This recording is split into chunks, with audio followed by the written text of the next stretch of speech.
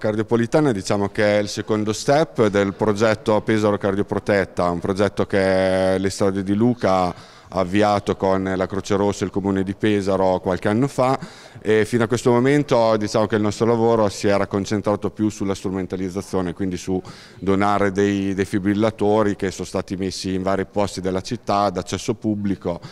E adesso è un po' di tempo che ci pensavamo di eseguire il secondo step, quindi oltre a puntare alla strumentazione andare anche sulla formazione delle persone, perché uno strumento che non, nessuno sa utilizzare può essere anche inutile, invece avere una diffusione delle tecniche di BLSD è un, è un fattore determinante per l'effettivo funzionamento di tutto il sistema. Sono corsi di BLSD autenticati dalla mm, Croce Rossa, tenuti da, da loro, dalla, da, dei professionisti eh, della formazione. E, mm, sono assolutamente gratuiti per chiunque si voglia iscrivere. E noi abbiamo pensato, Cardiopolitana, di mh, mm, eh, pensare a un percorso, diciamo,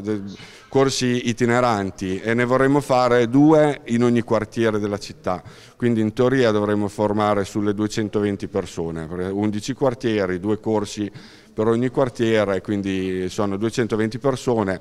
eh, residenti a Pesaro che potrebbero possono sfruttare questa opportunità. Per aderire a questa iniziativa abbiamo mh, mm, predisposto un sito che si chiama www.cardiopolitanapesaro.it e lì si troveranno tutte le informazioni,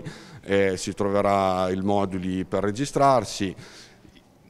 Nell'estate dovrebbe anche uscire un'applicazione che renderà ancora tutto più facile perché tramite l'applicazione ognuno si potrà registrare.